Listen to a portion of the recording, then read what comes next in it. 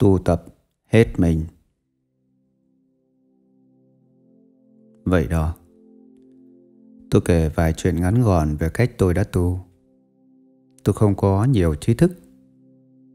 Ngày xưa tôi cũng không được học hành gì nhiều. Giờ cái tôi học là trái tim này Và tâm này của tôi. Và tôi học theo một cách tự nhiên Thông qua thực nghiệm, Thông qua rút kinh nghiệm từ những chỗ tu đúng tu sai. Khi tôi thấy thích điều gì Tôi xem xét coi Điều gì đang xảy ra. Và nó sẽ dẫn đến đâu? Rõ ràng tôi thấy nó lôi tôi đi xa Đến chỗ khổ đau. Việc tu của tôi là quan sát chính bản thân mình. Khi sự hiểu biết và sự nhìn thấy rõ ràng, minh sát Càng được sâu sắc hơn Tôi càng đi đến biết rõ về chính mình hơn Tu với một sự tận tâm, bất thối chuyển Nếu muốn tu tập giáo pháp thì các thầy phải bỏ bớt nghĩ suy. Nếu khi thiền tập, các thầy thấy mình đang cố tu để đắc đạt kết quả gì gì đó, thì tốt hơn nên dừng lại. Mỗi khi nào tâm được tĩnh lặng và bình an, ta liền độc thoại. Nó đó, phải đó là vậy không? Ta đã đến tầng thiền rồi phải không? Nếu nghĩ vậy thì dừng ngay. Bà đang tu với vọng tưởng và tham dục. Cua hết mọi ý nghĩ phân tích và suy lý đó. Gói nó lại và nhát xuống ngực. Đừng bao giờ lôi nó ra để lý sự, suy lý gì gì nữa. Đó không phải là loại hiểu biết dùng để thâm nhập vào trong tâm. Đó là những loại hiểu biết khác đó là những hiểu biết tri thức, suy lý bề ngoài. Khi hiện thực của điều gì được nhìn thấy, nó không phải giống như đã được mô tả trong kinh sách. Ví dụ, khi ta viết về tham, tham dục, nhục dục, dục vọng, khoái lạc, giác quan, thì những chữ viết đó không thể nào truyền tải hết ý nghĩa của thực tại của tính tham đó trong tâm. Chữ sân cũng vậy. Đó chỉ là những danh từ chung. Ta viết để cố miêu tả những thói tâm ô nhiễm nặng đô thứ hai bên trong tâm thôi. Chữ sân ta viết trên bảng đen. Nhưng thực sự chúng ta trải nghiệm sân ra sao thì không thể giống y như nhau. Chúng ta thậm chí không kịp đọc những chữ viết đó khi tâm đang sân giận, điên tiếc. Chỗ này là chỗ cực kỳ quan trọng. Những giáo lý là đúng, nhưng điều cốt lõi là phải biết đưa giáo lý đó vào trong tim mình. Nó phải được nội tâm hóa. Nếu giáo pháp không được đưa vào trái tim, thì nó sẽ không được biết một cách thực thụ. Nó sẽ không được thấy một cách thực thụ. Tôi cũng vậy. Tôi không học rộng về kinh điển nhưng tôi chỉ học đủ căn bản để thi qua kỳ thi sát hạch giáo lý Phật giáo. Một ngày kia tôi có duyên được nghe bài giảng Pháp từ một thiền sư. Khi tôi nghe, một vài ý nghĩ thiếu tôn trọng đã khởi lên. Lúc đó, tôi chưa biết cách lắng nghe giáo Pháp. Tôi chẳng hiểu vị thiền sư lang thang đó đang nói gì. Ông ta đang nói như thể giáo lý đó có từ kinh nghiệm trực tiếp của ông ta vậy. Cứ như ông ta là đại diện cho sự thật vậy. Bởi vậy nên tôi không hoàn toàn tin. Thời gian trôi qua, tôi đã được ít nhiều trải nghiệm ban đầu. Tôi đã tự mình nhìn thấy sự thật cho chính mình. Đó là những sự thật mà vị thiền sư kia đã nói trước đó. Tôi hiểu được cách hiểu biết. Sau hiểu biết thì trí tuệ theo sau, ngay tại đó. Do Pháp đã bén rễ từ trong tâm và trái tim của tôi. Thật lâu, rất lâu sau đó, tôi mới nhận thấy được những điều vị thiền sư đó đã nói là nói từ sự tự thân thấy biết của mình. Giáo pháp vị ấy đã giảng là đúng trực tiếp từ sự trải nghiệm của chính vị ấy, không phải từ kinh sách. Vị ấy nói theo sự hiểu biết và trí tuệ nhìn thấy của chính mình. Khi tôi tự mình bước đi trên con đường đạo, tôi đã gặp lại mọi điều mà vị thiền sư đó đã mô tả trước đó. Và tôi phải thừa nhận rằng vị ấy đã nói đúng. Vậy đó, tôi tiếp tục tu và khám phá như vậy. Hãy cố gắng tranh thủ mọi cơ hội để đưa nỗ lực vào sự tu tập. Dù tu có được bình an hay không, đừng nghĩ gì lúc này. Ưu tiên hàng đầu là phải nỗ lực tu hành, phải chuyển động bánh xe tu tập và tạo ra những nhân cho kết quả giải thoát sau này. Nếu bạn làm đúng việc tu tập, bạn không cần phải lo lắng về kết quả. Đừng lo lắng tại sao ta vẫn chưa chứng đắc kết quả này nọ. Lo lắng là bất an, là không bình an. Thử nghĩ, nếu bạn không lo tu tập đúng đắn, thì lấy gì mà trông đợi kết quả? Chỉ có người biết tu, biết khám phá, thì mới có thể tìm thấy kết quả. Chỉ có người tự ăn mới tự biết mình no. Mọi thứ xung quanh đều đánh lừa chúng ta. Đúng không? Nhận biết lẽ thật này cho đến 10 lần cũng không thừa. Mọi thứ xung quanh đều đánh lừa chúng ta. Cũng một sư cụ đó cứ đánh lừa và giả dối với ta hoài hoài. Nếu chúng ta biết ông đang nói dối, điều đó không tệ. Nhưng cũng có thể phải rất lâu sau đó ta mới nhận ra ông nói dối. Cũng một ông bạn cũ cứ đánh lừa ta hoài từ trước đến giờ. Mọi thứ xung quanh ta nhìn thấy hàng ngày cứ luôn đánh lừa ta. Tu tập theo giáo pháp có nghĩa là củng cố đức hạnh, tức giới, phát triển định lực, tức định và tu dưỡng trí tuệ, tức tuệ trong tâm ta. Tưởng niệm và quán chiếu về tam bảo, Phật, Pháp, Tăng. Buông bỏ tất cả mọi thứ, không ngoài lệ thứ gì. Những hành động của chúng ta là nguyên nhân và điều kiện, tức nhân và duyên, sẽ kết thành trái quả ngay trong kiếp sống này. Do vậy, hãy nỗ lực tu với sự thành tâm. Ngay cả khi ngồi trên ghế, chúng ta vẫn có thể tập trung sự chú tâm. Ngay lúc mới tu, chúng ta không cần phải chú tâm đến nhiều thứ. Chỉ cần chú tâm vào hơi thở. Nếu chúng ta thích, chúng ta có thể niệm chữ Buddha, Đức Phật hay Dhamma, Giáo Pháp hay Sangha, Tăng Đoàn. Theo nhịp hơi thở theo ý chúng ta. Khi tập trung chú tâm, nhất quyết đừng kiểm soát hơi thở. Cứ để hơi thở tự nó thở tự nhiên. Nếu hơi thở có vẻ chậm mệt hay khó chịu, thì đó là do ta đang tiếp cận nó không đúng cách. Khi nào chúng ta còn chưa thấy thoải mái dễ chịu với hơi thở, nó cứ luôn lúc quá ngắn lúc quá dài, hoặc lúc sâu lúc cạn lúc nhẹ lúc nặng. Tuy nhiên, khi chúng ta thư giãn với hơi thở, chúng ta sẽ thấy dễ chịu và thoải mái. Dễ ý thức rõ từng hơi thở vào và hơi thở ra. Thì lúc đó chúng ta đã theo được hơi thở. Nếu chúng ta không làm đúng, chúng ta sẽ lạc mất hơi thở. Nếu điều đó xảy ra, tốt hơn nên ngừng lại chốc lát và tập trung sự chú tâm trở lại.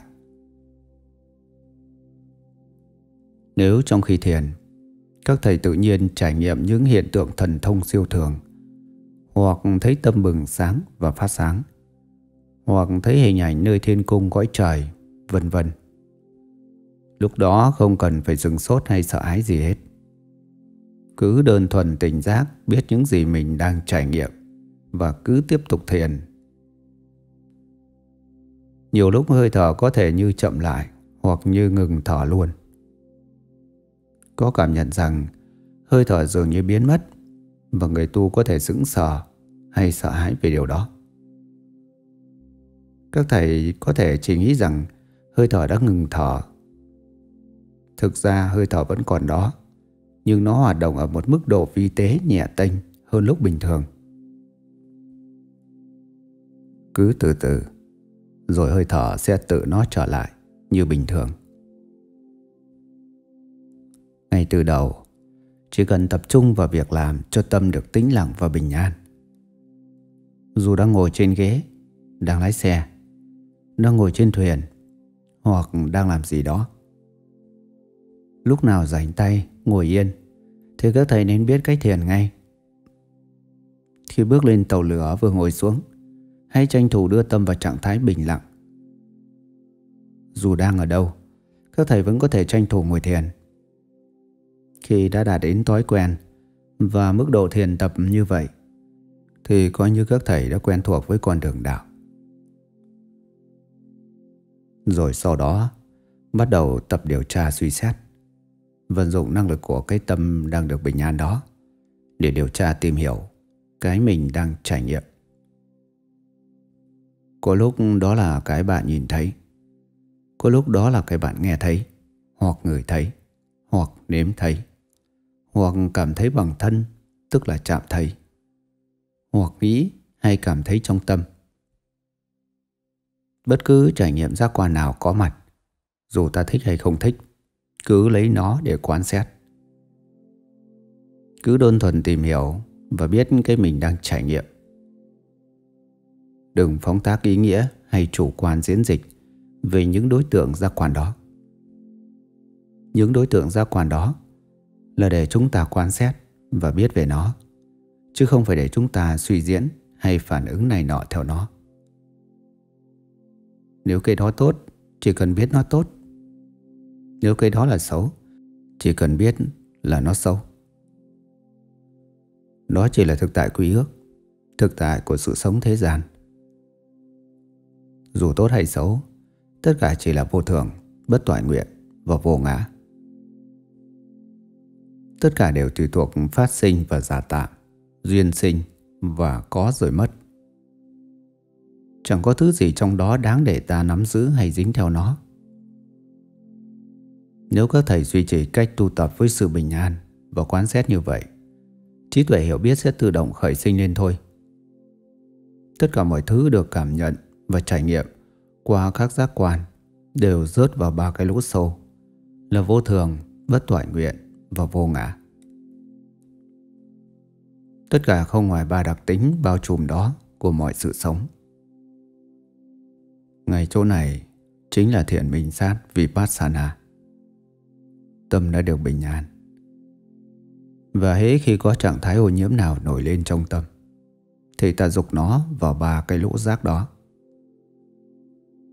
Giống như người ở trên nhà cao tầng, quăng bịch rác vào ống đổ rác để nó rớt xuống thùng rác dưới đất để người ta trở đi bỏ vĩnh viễn. Khi có trải nghiệm nào hay nhận thức, tức niệm, vọng tưởng nào khởi lên, dẹp bỏ nó ngay, bởi nó chắc chắn là vô thường, khổ và chẳng là gì cả. để lấy chỗ cốt lõi của thiền minh sát Vipassana.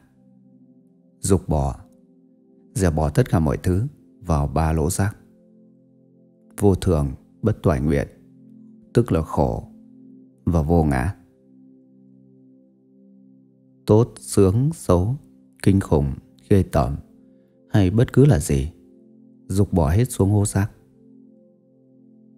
Không bao lâu sau đó, sự hiểu biết và trí tuệ minh sát sẽ nổi lên ngay chính giữa đống rác bao trùm của ba đặc tính đó.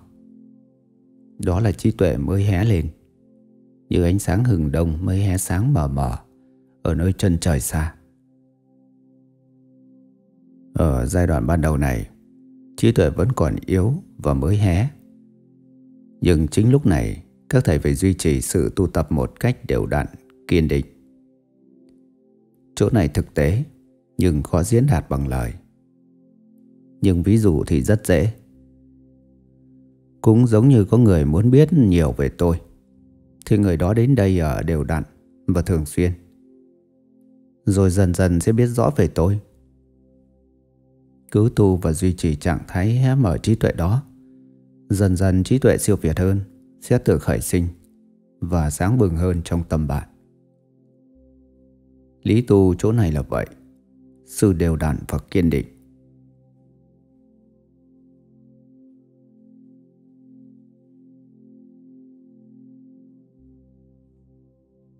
Tôn trọng truyền thống, truyền thừa. Thời chúng ta bắt đầu thiền tập là thời cao đẹp nhất của đời người.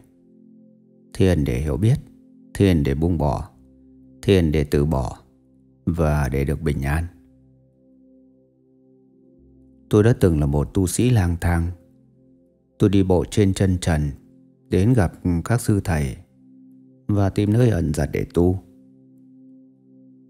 Lúc đó tôi chẳng bao giờ đi dạo quanh làng xóm hay phố thị để giảng pháp, giảng đạo gì cả. Tôi chỉ lo đi tìm nơi để lắng nghe giáo pháp do những vị thiền sư bậc chân tu lúc đó giảng dạy. Tôi không đi đến đâu để dạy ai cả. Tôi lắng nghe tất cả mọi lời khuyên dạy của họ nói cho ta. Ngay cả những điều những tu sĩ trẻ măng hoặc các chú tiểu cố nói với tôi về giáo pháp. Tôi cũng lắng nghe một cách kiên nhẫn. Tuy nhiên, ít khi nào tôi nhảy vào lý luận hay phân giải với nhau về giáo pháp. Tôi chẳng thấy có ích gì nếu cứ nhào vô bàn thảo lý sự về giáo lý, cho hết giờ hết ngày. Có giáo lý nào tôi đã chấp nhận, thì tôi đi thẳng vào đó. Đi thẳng vào ngay chỗ chúng, chỉ ra sự từ bỏ và sự buông bỏ. Bất cứ điều gì tôi làm Tôi làm vì sự từ bỏ và sự buông bỏ Tôi tu tập mọi thứ vì mục đích hướng đến sự từ bỏ và sự buông bỏ. Chúng ta không cần phải trở thành chuyên gia về kinh điển. Chúng ta đang già đi sau mỗi ngày trôi qua. Và mỗi ngày chúng ta cứ chụp lấy vọng tưởng, bỏ quên mất sự thực Tu tập theo giáo pháp là điều khác hẳn với việc học giáo pháp. Học giáo lý là một chuyện, thực hành nó là chuyện khác. Tôi không chê bất kỳ dạng nào trong đa dạng những kiểu cách và kỹ thuật thiền tập đang có khắp nơi. Chừng nào chúng ta hiểu đúng mục đích và ý nghĩa thực thụ của các pháp môn đó thì chúng cũng không sai. Tuy nhiên, nếu chúng ta tự nhận mình là một thiền nhân Phật giáo, mà chúng ta không tuân thủ nghiêm túc theo tinh thần của giới luật tầng đoàn Vinaya à, thì theo tôi sẽ không thành công gì đâu. Tại sao? Bởi làm vậy chúng ta đã cố bỏ qua phần sống động nhất của con đường đạo. Bỏ qua phần nào trong giới định tuệ thì cũng không đi đến đâu. Một số người khuyên các thầy đừng dính vào sự tĩnh lặng có được từ thiền định Samatha. Đừng đụng đến thiền định, cứ tiến thẳng đến thiền minh sát Vipassana. Cứ tiến thẳng đến trí tuệ và minh sát tuệ. Tôi không nghĩ vậy. Có lẽ không có con đường đó.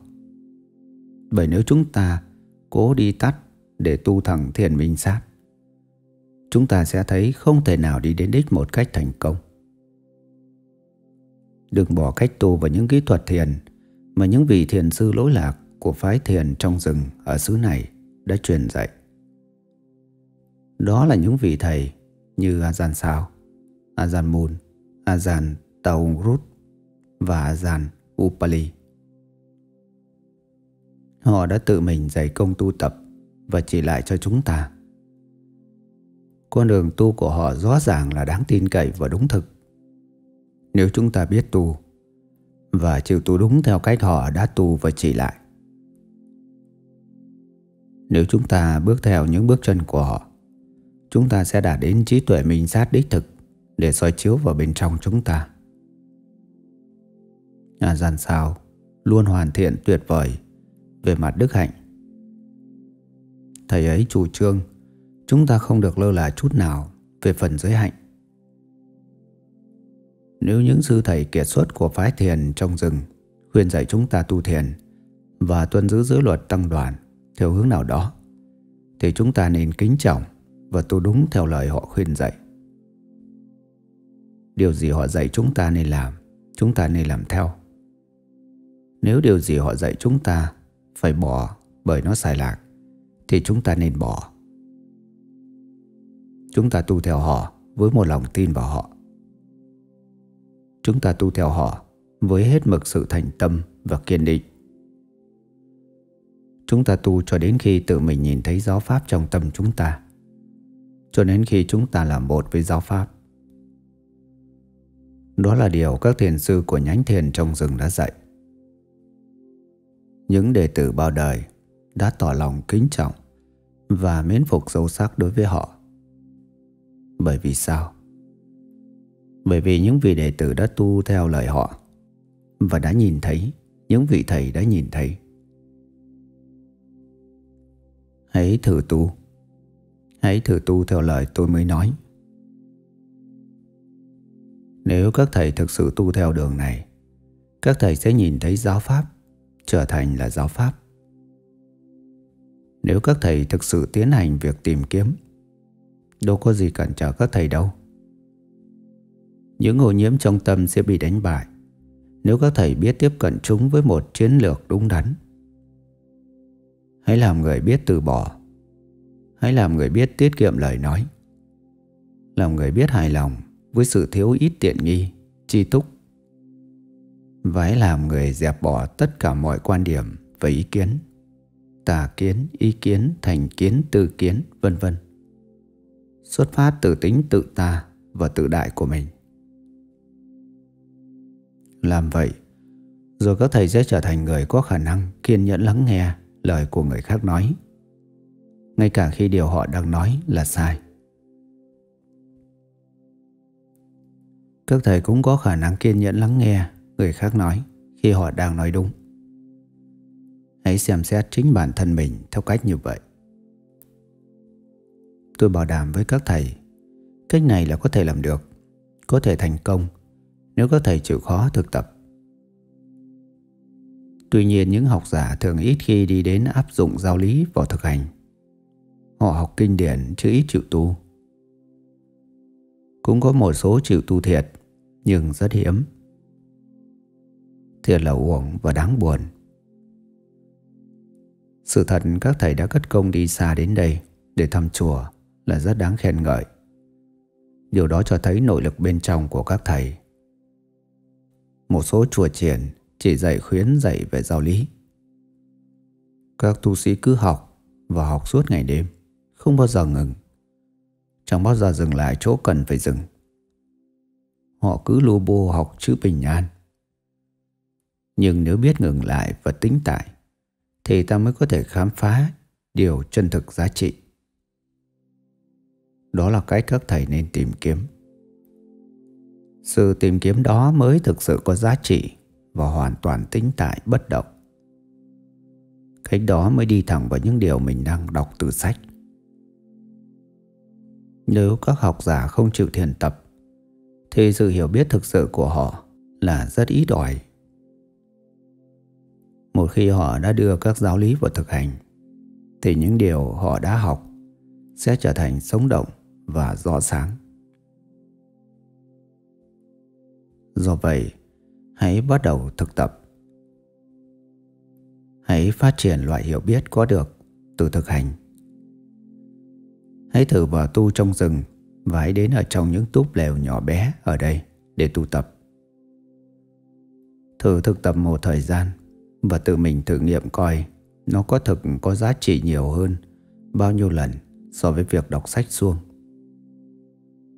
Rồi lúc đó các thầy có thể tự mình luận giải với chính mình. Khi ta đang quan sát cái tâm, nó giống như đang buông bỏ và an nghỉ trong một trạng thái tự nhiên vậy.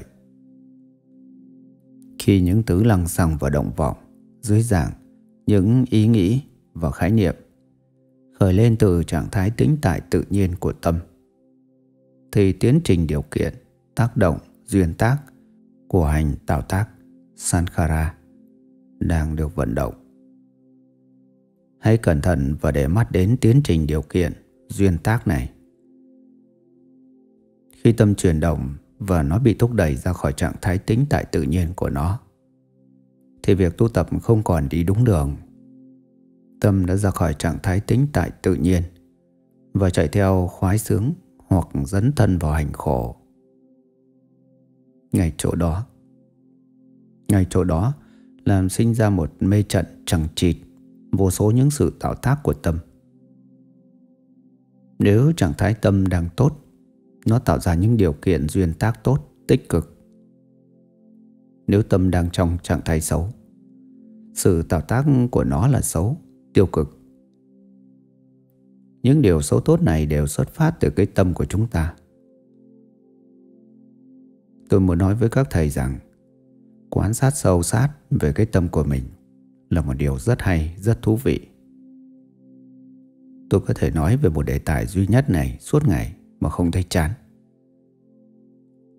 Khi ta có thể hiểu biết được những cách hành xử của tâm, ta sẽ thấy được cách tiến trình này vận hành và cách nó liên tục đi qua trong tiến trình bị tẩy não bởi những thứ ô nhiễm của tâm.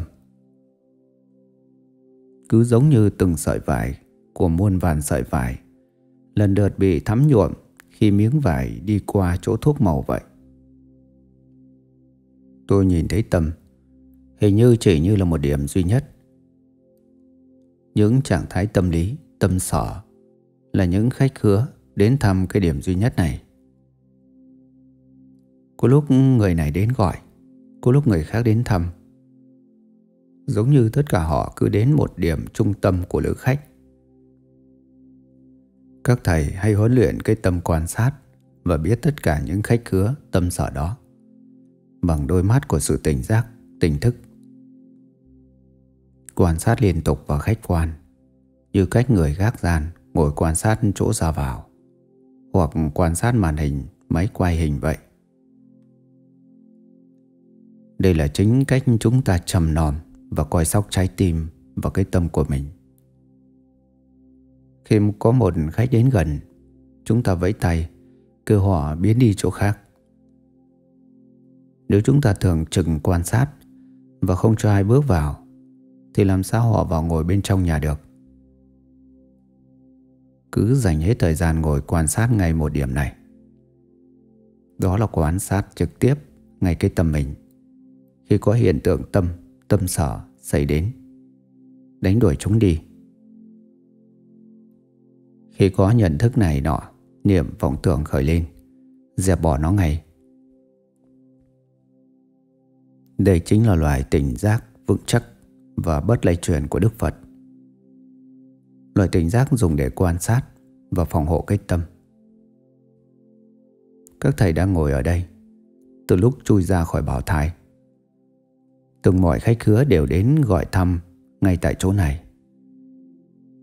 Dù đến ít hay đến nhiều Tất cả họ đều đến ngay tại điểm này. Đức Phật biết tất cả họ Sự tỉnh giác của Phật ngồi ngay đó một mình Vững chắc và bất lay động. Khách khứa khắp nơi Tức ô nhiễm Cứ tìm đến gây tác động Tạo tác, điều kiện Và làm lay động trao đảo cái tâm. Bằng nhiều nhiều cách khác nhau Khi chúng có thể làm cho tâm dính vào những mớ lăng xăng đủ các loại của chúng. Lúc đó những trạng thái tâm lý, tâm sở khởi sinh lên. Dù những mớ lăng xăng đó là gì, dù vấn đề tác động của chúng là gì, hễ khi nào những thứ khách khứa đó có vẻ đang dẫn dắt tâm này nọ, ta cứ quên mặc nó ngay, chẳng hại gì hết. Ngay khi có khách đến thăm, cứ đơn giản biết khách đó. Biết xong quên Mà họ đi. Một khi họ bước vào Họ nhìn thấy chỉ có một chỗ ngồi duy nhất. Và khi nào ta còn đang ngồi ghế đó Thì họ chẳng bao giờ có chỗ nào Để ngồi trong đó. Không để tâm đến khách Không để mặc vị khách nào hết Không nhường chỗ cho ai hết Không để cho bất cứ thứ gì có thể ở lại. Hay trụ lại bên trong cái tâm mấy loại khách khứa đó nghĩ họ đi đến đây để nhiều chuyện tán gẫu chọc ghẹo. Nhưng lần này, họ thấy chẳng có chỗ nào để họ ngồi lê đôi mắt. Họ sẽ bỏ đi vì bị bỏ mặc, vì bị đuổi khéo. Lần sau họ lại kéo đến cũng thấy không có cây ghế nào trong nhà để ngồi. Đám nhiều chuyện đó cứ muốn kéo đến bao nhiêu lần mà kệ họ. Thế khi nào họ kéo đến, họ lại thấy chỉ có duy nhất một chỗ ngồi và duy nhất một tay gác gian đang ngồi như trời trồng ngay tại chỗ ngồi duy nhất đó và quan sát họ. Ta không hề nhúc nhích chút nào. Ta ngồi yên trên chiếc ghế duy nhất đó. Các bạn nghĩ những khách đó sẽ tiếp tục tới lui trong bao lâu nữa? Còn bao nhiêu khách cưa đó sẽ đến nữa? Và ta còn phải liên tục ngồi một mình quan sát ngay tại chỗ duy nhất đó. Mọi người và mọi thứ và mọi sự mà bạn đã từng biết kể từ sau ra đời, trải nghiệm thế giới này, tất cả họ đều sẽ đến thăm. Ta cứ đơn thuần ngồi quan sát và tỉnh giác ngay tại chỗ đó là đủ. Chỉ cần làm như vậy là đủ để nhìn thấy giáo pháp một cách toàn diện. Ta cứ lặng lẽ quan sát và quán xét với chính mình. Đây cũng là cách chúng ta đang bàn nói về giáo pháp. Tôi không biết cách nói sao cho khác, không biết nói gì khác. Tôi chỉ có thể tiếp tục nói giảng theo kiểu này. Có thể nói thêm nhiều hơn nữa cho các thầy. Nhưng rốt cuộc đây cũng chỉ là việc nói và nghe. Tôi muốn khuyên các thầy, Hãy thực sự đi thực hành. Thực sự đi thiền tập, Thì mới thấy biết thực thụ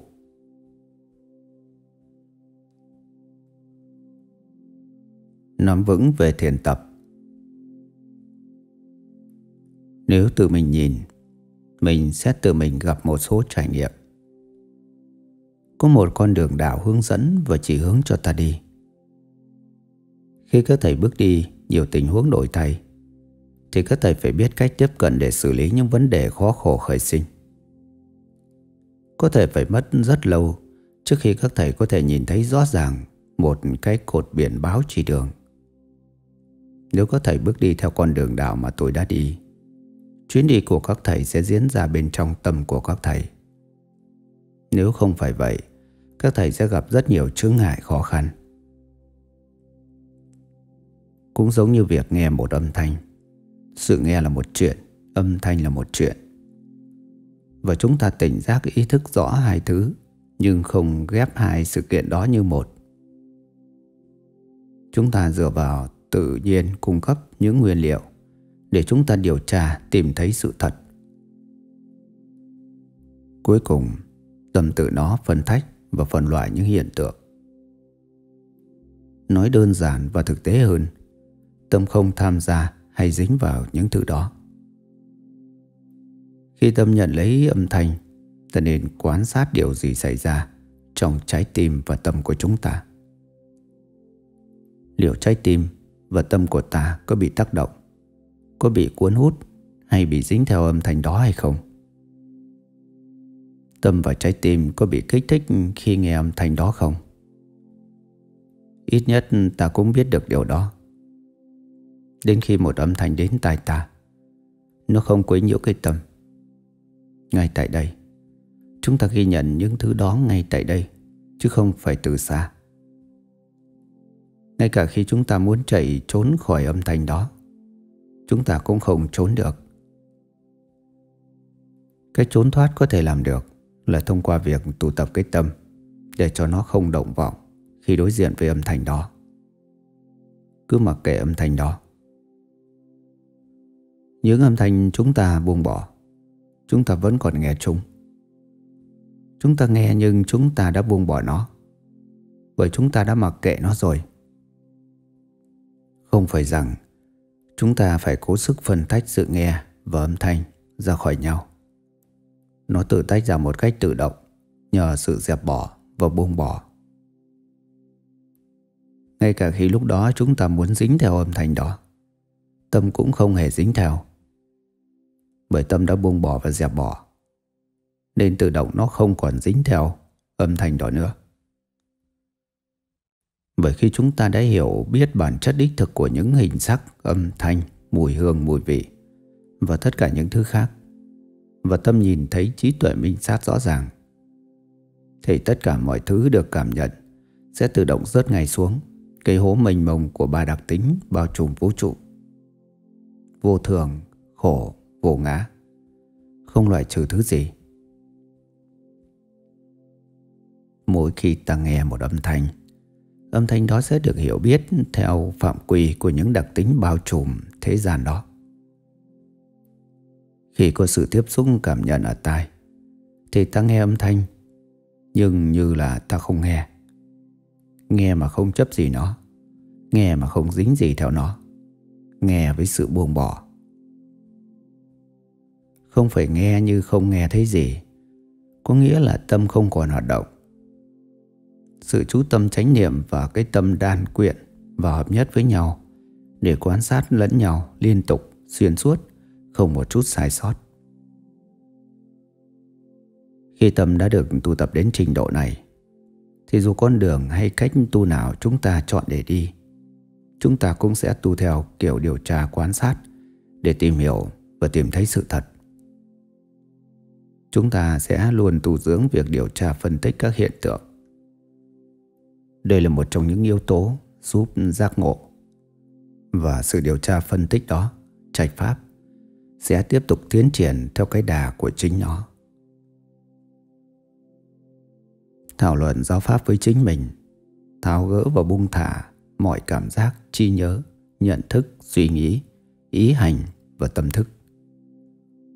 Không có gì có thể đụng đến chúng khi chúng tiếp tục tự vận hành theo đường lối riêng của chúng.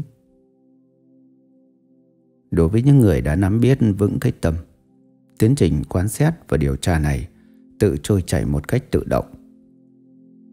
Lúc này không còn cần thiết phải điều khiển nó theo ý mình.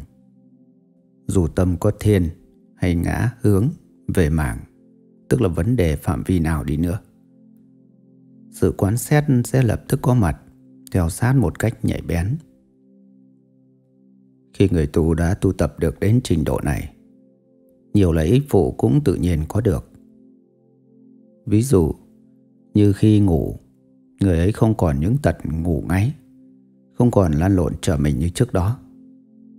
Ngay cả khi người ấy ngủ say sưa, khi thức dậy không bị ngái ngủ hay nhừ nhừ. Tu được đến lúc đó, chúng ta luôn tỉnh thức, cứ như ta luôn luôn thức chứ không ngủ vậy. Tôi từng bị tật ngủ ngáy nhưng khi tâm luôn duy trì tỉnh thức Thì tật ngáy đó không còn làm sao chúng ta có thể ngáy Trong khi tâm mình luôn tỉnh thức? Lúc đó ta ngủ Chỉ là thân ngừng lại Và nghỉ ngủ. Chứ tâm thì vẫn tỉnh thức. Tâm tỉnh thức cả ngày và đêm Suốt 24 giờ. Đây chính là loài tỉnh giác tinh khiết Và cao sâu của Đức Phật. Là cái người biết, người tỉnh giác, người hạnh phúc, người tỏa sáng. Sự tỉnh giác sáng rõ này không bao giờ ngủ. Năng lượng của nó tự duy trì và nó chẳng bao giờ mở tối hay ngái ngủ. Đến giai đoạn này, người tu có thể đi liên tục 2-3 ngày mà không cần ngừng nghỉ. Lúc này, khi nào thân bắt đầu có dấu hiệu kiệt sức Chúng ta ngồi xuống thiền Và chỉ cần sau 5 hay 10 phút Ta sẽ đạt định thâm sâu Khi chúng ta thoát ra khỏi trạng thái định sâu đó. Chúng ta cảm thấy tươi mới, khỏe khoắn Và đầy năng lượng tái tạo. Giống như chúng ta mới ngủ sâu nguyên một ngày đêm vậy. Nếu chúng ta vượt qua Không còn nhiều sự quan tâm lo lắng đối với thân thì việc ngủ nghỉ không còn nhiều quan trọng nữa. Lúc này chúng ta vẫn còn chăm sóc thân bằng những cách đúng đắn như ăn uống, tắm rửa, thuốc thang. Nhưng chúng ta không còn lo âu, khổ đau về tình trạng thể chất của thân nữa. Chúng ta chấp nhận nhìn nó theo những quy luật tự nhiên của nó. Chúng ta không còn khiến hay chỉ bảo thân thể Phải như này như nọ Nó tự chỉ bảo nó Dường như có ai đó đang thúc giục chúng ta Thúc bách chúng ta phải nỗ lực tinh tấn hơn nữa ngay cả khi ta thấy lười biếng, Dường như luôn có giọng nói nào đó bên trong Thúc đẩy chúng ta siêng năng tinh tấn. Sự đình trệ lúc này khó có thể xảy ra, Bởi sự nỗ lực và tinh tấn Đã hợp thành một cây đà mạnh mẽ Khó dừng lại được. Giống như những nguồn nước chảy nhanh Đang hợp lại Thành dòng chảy mạnh Thì khó mà dừng lại hay chảy y ạch. Các thầy hãy tu Và tự mình kiểm nghiệm thấy chỗ này Các thầy đã học và nghiên cứu kinh sách từ lâu rồi Giờ là đến lúc các thầy hãy học và nghiên cứu chính bản thân mình. Vào lúc bắt đầu bước vào tu tập, sự tách ly hay ẩn giật là cần thiết quan trọng. Khi các thầy sống một mình ở nơi ẩn lánh, các thầy sẽ tưởng nhớ đến lời của Ngài Xá Lợi Phất. Sự sống tách ly về thân là nhân duyên làm khởi sinh sự tách ly về tâm. Đó là những trạng thái định sâu, Samadhi, thoát khỏi tiếp xúc giác quan với trần cảnh bên ngoài. Đến lượt nó, sự tách ly của tâm là một nhân duyên dẫn đến sự tách ly khỏi những ô nhiễm của tâm, dẫn đến giác ngộ. Và như vậy đó, nhưng vẫn có nhiều người cho rằng sự tách ly ẩn giật là không cần thiết quan trọng. Họ lý sự như vậy. Nếu tâm của bạn bình an Thì nó không quan trọng bạn đang ở đâu. Điều đó là đúng, không sai. Nhưng nó đúng chỗ khác. Nó đúng đối với người đã thực sự bình an.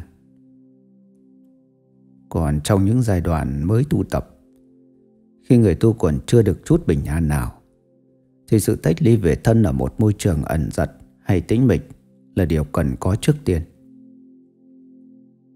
Ngay từ hôm nay, hoặc ít lâu sau, hãy tìm một nơi những nghĩa trang vắng vẻ gần khu rừng núi, cách xa làng mạc phố xá. Thử nghiệm sự sống một mình, coi thử. Hoặc có thể tìm một đỉnh núi cao vót, hoang vu và đáng sợ. Lên đó sống một mình được không? Các thầy sẽ có nhiều điều thú vị trong suốt đêm dài ở đó. Chỉ có như vậy, chỉ có trải nghiệm sống một mình như vậy, Các thầy mới tự mình biết. Thậm chí bản thân tôi trước đây Cũng từng cho rằng Việc sống tách ly ẩn giật Là không cần thiết. Đó là tôi nghĩ vậy. Nhưng sau đó, Tôi đã thực sự đến sống tu ở nơi hẻo lánh tách ly một mình Tôi mới suy xét quán chiếu lại Những lời Phật đã dạy Đức Thế Tôn đã khích lệ các đệ tử đến sống tu ở những nơi hẻo lánh, tách ly khỏi đời sống xã hội. Ngay từ đầu việc sống tách ly về thân sẽ tạo nên nền tảng giúp tạo ra sự tách ly về tâm. Và sự tách ly về tâm này sẽ giúp tạo ra sự tách ly khỏi những ô nhiễm. Thân lánh trần sẽ giúp tâm cũng lánh trần. Tâm lánh trần giúp nó lánh xa trần cảnh và nhiều ô nhiễm. Ví dụ, nếu bạn là Phật tử tại gia, sống với gia đình và nhà cửa, làm sao bạn có sự tách ly ẩn giật nào? Khi vừa quay về nhà, vừa bước vào, bạn đã gặp phải đủ chuyện sinh sống phức tạp. Điều này là không có được sự tách ly thân. Do vậy, nếu bạn bỏ trốn đi tham dự một khóa tu ở một nơi xa lánh, môi trường ở đó khác hẳn như vậy mới có thể bắt đầu tu được Cần phải hiểu rõ tầm quan trọng Của việc sống tách ly thân Và sống một mình Ở một nơi nào đó trong giai đoạn đầu tu tập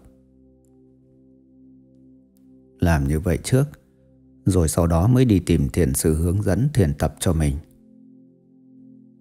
Vì thầy sẽ hướng dẫn khuyên dạy Và chỉ ra những chỗ các thầy còn hiểu sai Bởi vì rõ ràng, Thường những chỗ chúng ta sai là những chỗ ta nghĩ mình nghĩ đúng. Vì thầy bậc chân tu sẽ chỉ ra đúng những chỗ ta hiểu sai. Chỗ sai là chỗ ta thường cho là đúng chắc. Sau khi vị thầy giảng giải, ta sẽ hiểu được chỗ sai. Ngày đó, chúng ta mới có thể nhìn ra chỗ chúng ta sai mà chúng ta cứ nghĩ là mình đúng. Từ chỗ tôi nghe được, có một số học giả Phật giáo luôn nghiên cứu và tìm tòi trong kinh điển. Chẳng có lý do gì chúng ta không nghiên cứu suy nghiệm. Lúc khi cần học hỏi kinh sách, chúng ta mở kinh sách học theo kiểu đó. Nhưng đã đến lúc chúng ta phải thực hành. Đã đến lúc phải cầm võ khí và xông vào chiến trận. Thì lúc đó chúng ta phải xông vào chiến đấu. Phải làm thiệt chứ không phải theo cách của sách vở lý thuyết. Khi đã là vào trận chiến, Thì phải chiến đấu thiệt với trận chiến của mình Không phải chiến đấu theo những gì đọc được từ sách vở Nếu chiến đấu bằng những lý thuyết sách vở, Thì ta sẽ thua các đối thủ đó là chiến sĩ Thì chiến đấu bằng sự nhiệt huyết và thành tâm. Là chiến đấu thiệt theo kiểu thiệt Vượt khỏi lý thuyết sách vở. Đó là cách chúng ta bước vào tu Tu thiệt. Những lời kinh Phật trong kinh điển chỉ là những hướng dẫn lý thuyết và những tấm gương để chúng ta noi theo. Việc học kinh học sách đôi khi dẫn đến sự ỷ y, bất cần, coi thường thực tế.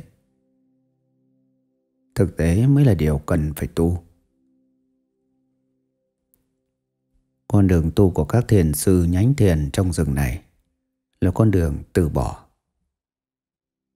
Trên con đường đạo này chỉ có sự từ bỏ.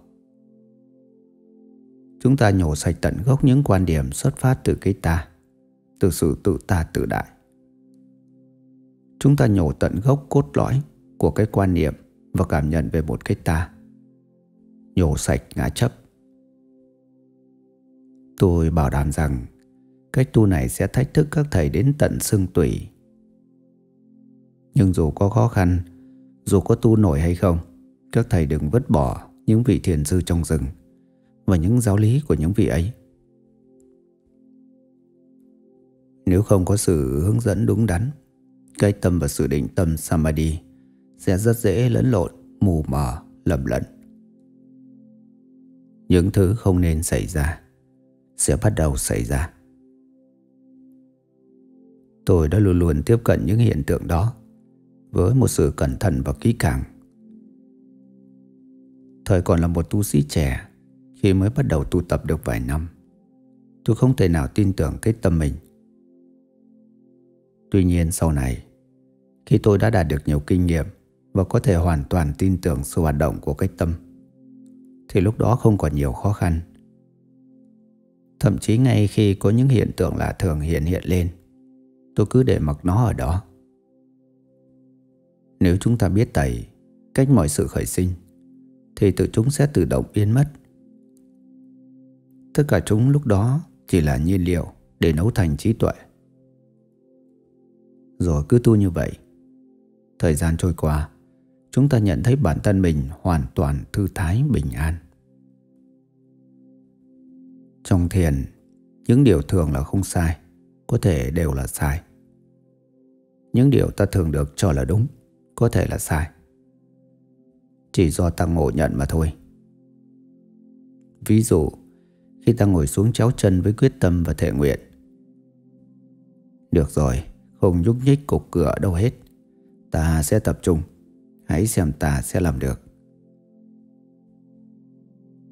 Cái kiểu bắt tay vào việc như vậy là không ăn. Mỗi lần tôi thử làm quyết tâm như vậy thì sự thiện của tôi chẳng ra sao.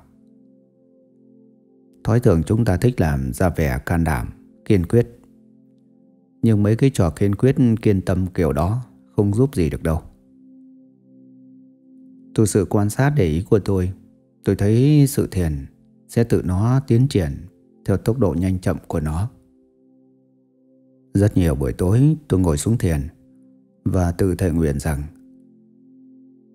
Được rồi, tối nay ta ngồi thiền. Tối nay ta sẽ không rời khỏi chỗ ngồi trước một giờ sáng.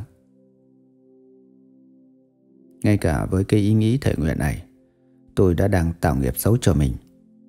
Bởi vì tôi đâu ngồi được lâu như đã thể nguyện đâu.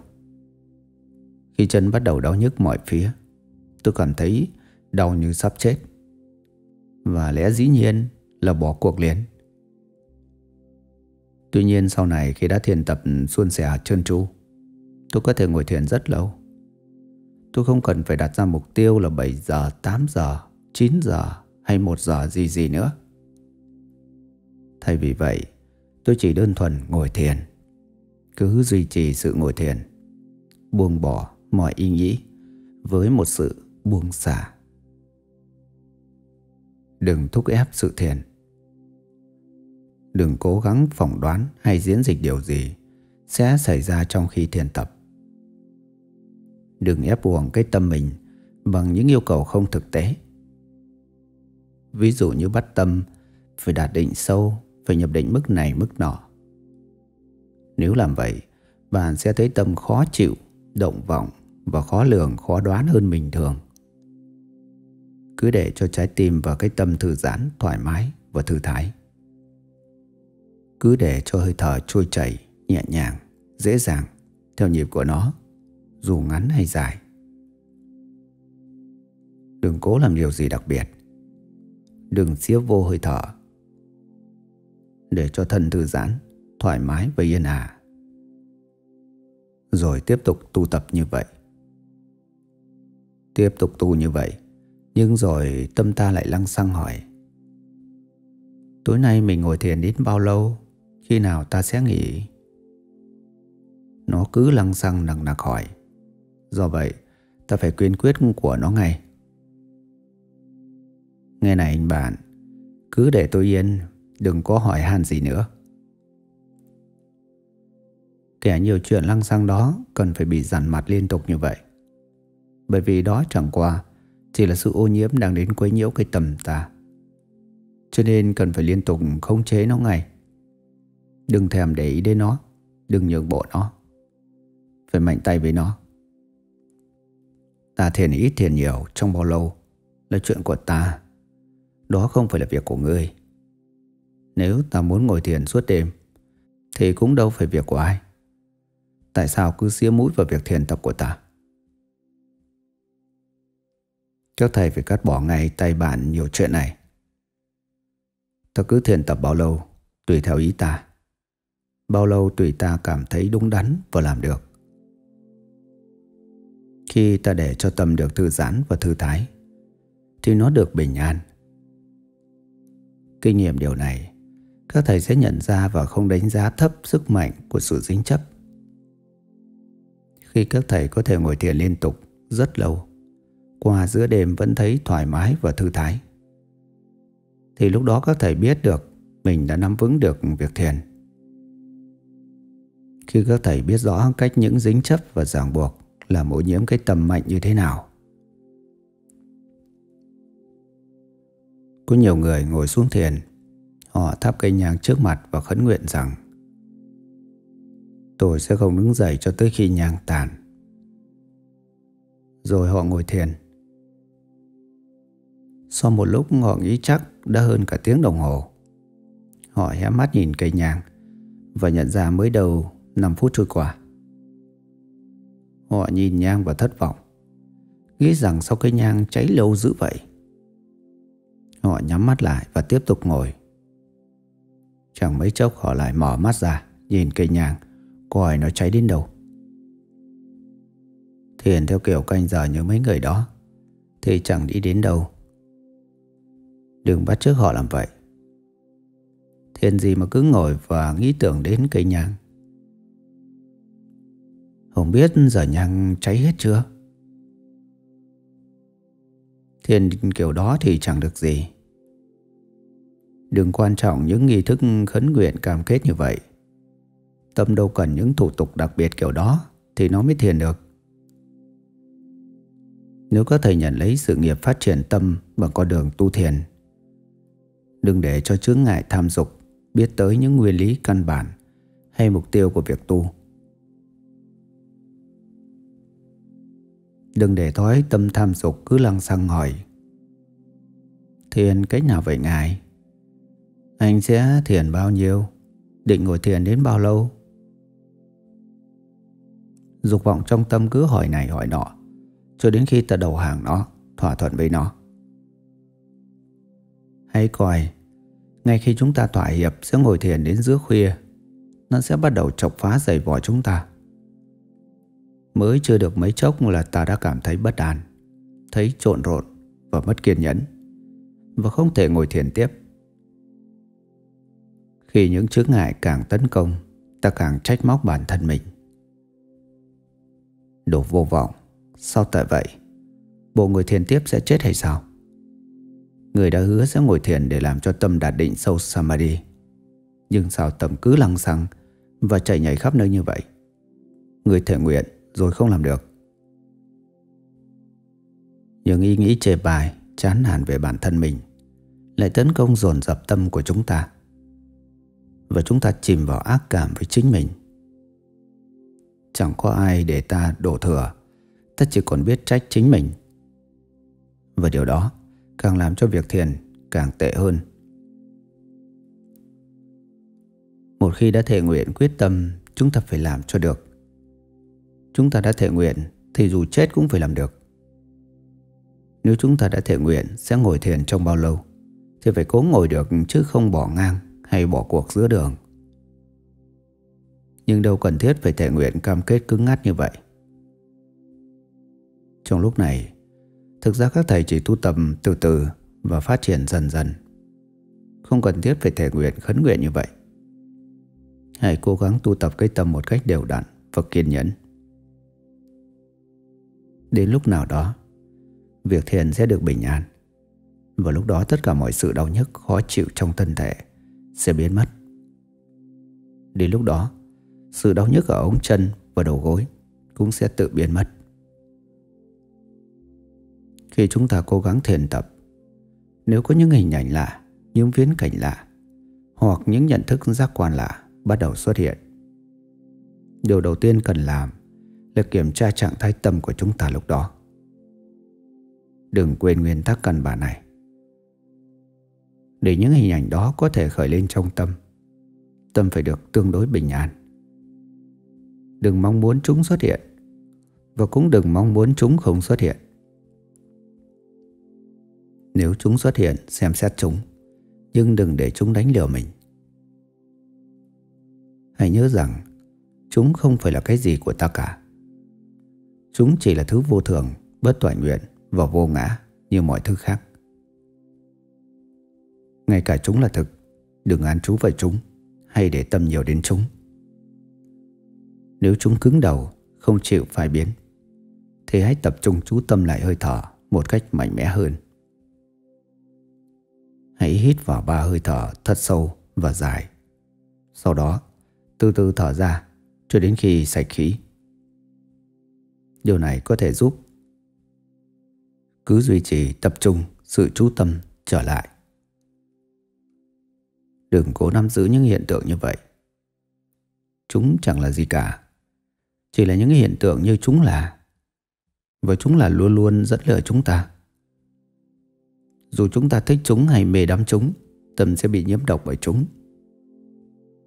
Chúng là những hiện tượng không đáng tin cậy. Chúng có thể là không thực hoặc chúng chỉ có vẻ thực Chứ chẳng phải thực Nếu các thầy trải nghiệm chúng trong khi thiền Các thầy đừng cố diễn dịch ý nghĩa của chúng Hoặc đừng cho chúng là này là nọ gì cả Hãy nhớ rõ Chúng không phải là gì của ta cả Do vậy Đừng chạy theo những hình ảnh Những viễn cảnh Với những cảm nhận đó Thay vì vậy hãy lập tức quay lại và kiểm tra trạng thái hiện tại của cái tâm. Đây là nguyên tắc số 1 của chúng ta.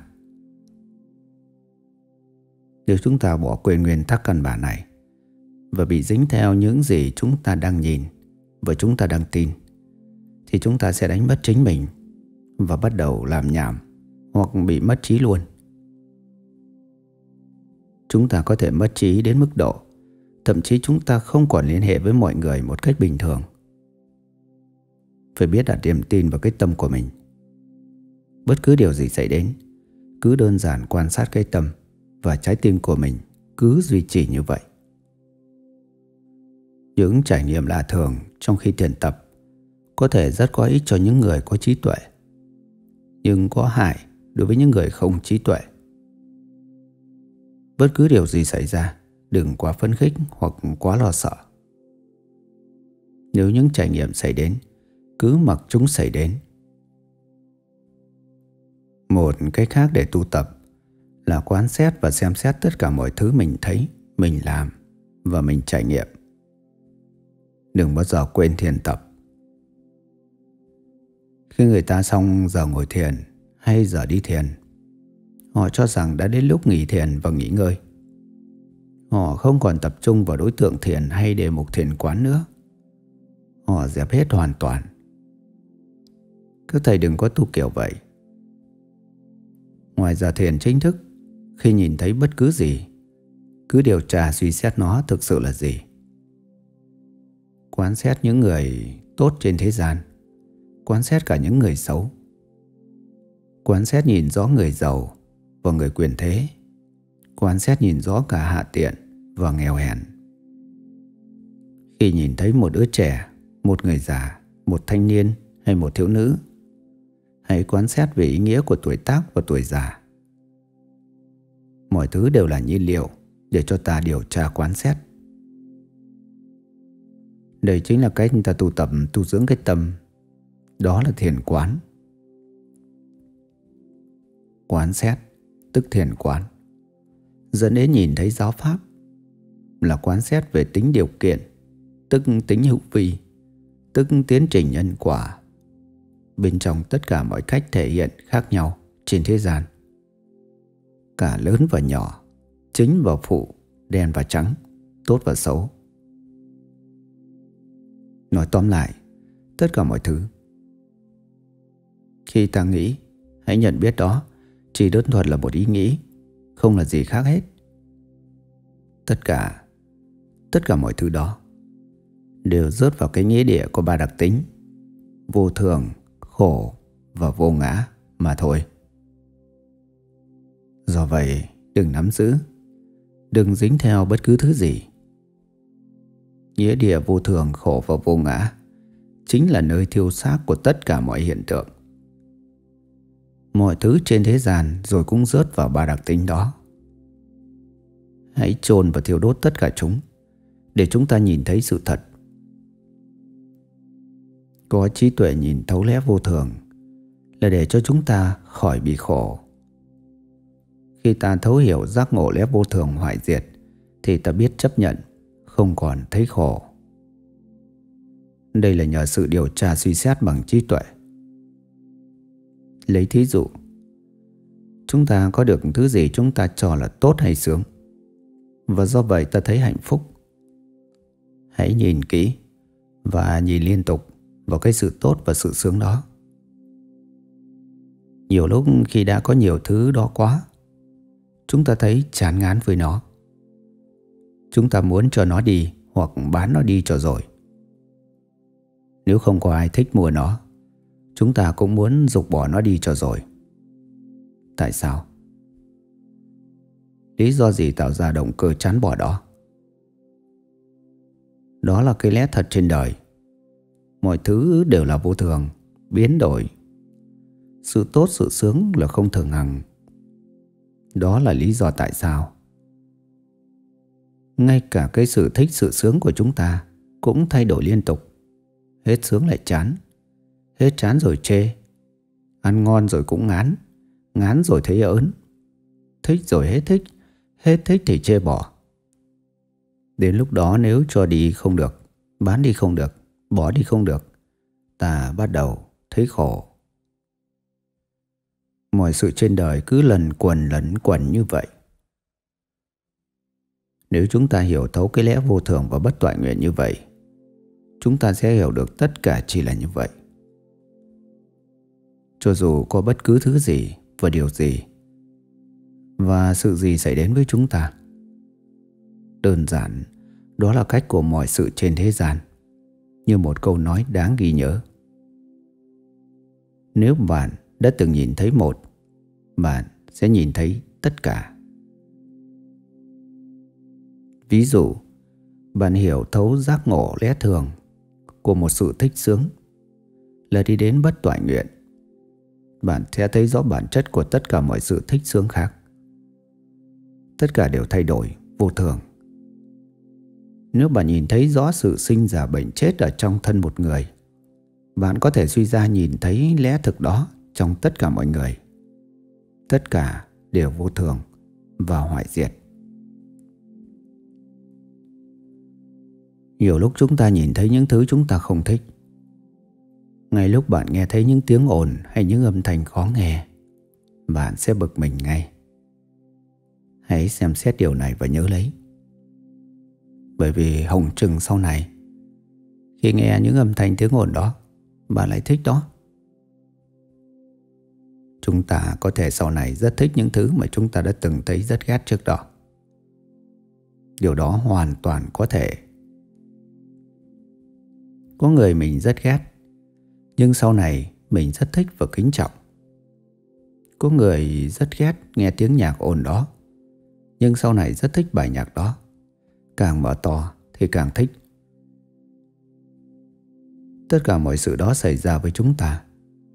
Và khi chúng ta nhìn thấy rõ ràng và bằng trí tuệ mình sát Chúng ta có thể giác ngộ ra rằng À ha, tất cả mọi thứ đều là không thường hằng không thể thỏa mãn hoàn toàn và không có chủ thể nào cả. Nói cách khác, tất cả mọi thứ trên đời đều là vô thường, bất toại nguyện và vô ngã. Hay quảng tất cả chúng vào nghĩa địa của ba đặc tính bao trùm đó. Tất cả mọi sự dính chấp vào những thứ chúng ta có, những thứ chúng ta được, thứ chúng ta thích, thứ chúng ta sướng, thứ chúng ta là, vân vân, đều chấm dứt ở đây. Ta không còn dính chấp vào bất cứ thứ nào nữa. Một khi ta đã thấu hiểu cái bản chất của tất cả chúng, chúng ta đi đến nhìn thấy tất cả mọi thứ về bản chất đều giống nhau. Tất cả mọi thứ chúng ta nhìn thấy như vậy sẽ làm khởi sinh ra trí tuệ minh sát, nhìn thấy giáo pháp, nhìn thấy chân pháp. Tất cả những gì tôi nói hôm nay. Chỉ là để cho các thầy lắng nghe và suy nghĩ về chúng. Tất cả cũng chỉ là lời nói, Chỉ có vậy. Khi người ta đến thăm tôi tôi nói, Những loại đề tài tôi thường nói Cũng không phải gì lạ, Cũng không phải là những thứ chúng ta cứ ngồi cả ngày để nói và nghe. Hãy thực hành chúng. Hãy bước vào và tu cũng giống như là khi chúng ta rủ một người bạn đi đâu đó. Chúng ta mời họ đi. Chúng ta nhận câu trả lời. Vậy là chúng ta đi. Không cần phải rủ tới rủ lui. Hay thúc qua thúc lại chỗ nào náo nhiệt nữa. Họ có đi hay không Thì họ sẽ đi. Tôi có thể nói với các thầy Lần một, lần hai Về tu thiền. Bởi tôi đã làm công việc thiền tập đó. Nhưng các thầy biết đó có thể tôi sai. Công việc của các thầy là phải tự mình điều tra suy xét Và tự mình tìm thấy những điều tôi nói Là đúng thực hay không.